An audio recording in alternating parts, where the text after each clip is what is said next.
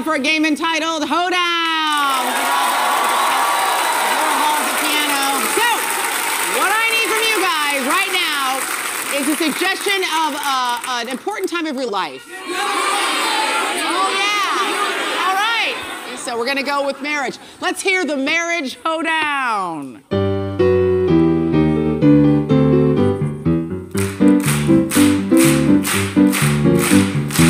I was married once, and I was married twice. I was married not a third time, cause that would be thrice. Do I like marriage? Nope, not one little bit.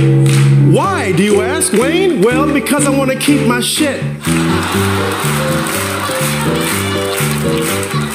Marriage is a good time, a good time for me. I met a lovely lady, but there's more to the story. It's kind of mean, might stab you like some knives. Sorry, Wayne, I've been with all three of your wives.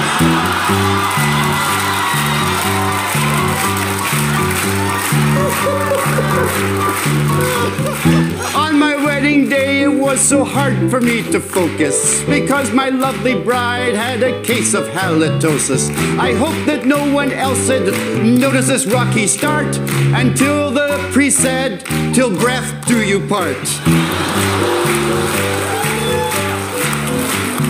I'm marrying a girl. She's a little messy. At times she reminds me of a very young Joe Pesci. I'd like to stop it, but I don't know what to say. A young Joe Pesci. Not just of Joe Pesci, of a young Joe Pesci. Young Joe Pesci. I'm marrying a girl, and her name is Rhoda. At times she reminds me of a very young Abe Vigoda.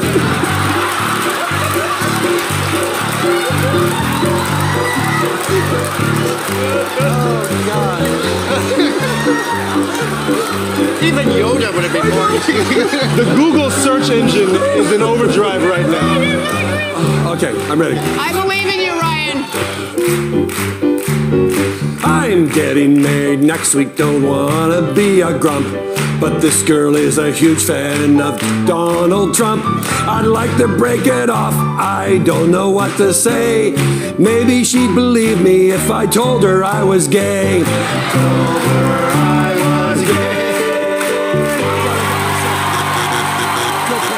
I knew I wasn't gonna get past Joe Pesci. So, a thousand points to each of you. I suggest you spend them on alcohol. Especially Ryan.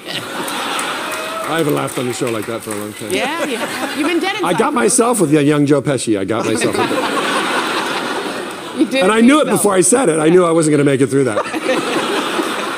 It wasn't the fact that it was Joe Pesci, it was the fact that it was a young Young Joe Joe Pesci. Pesci.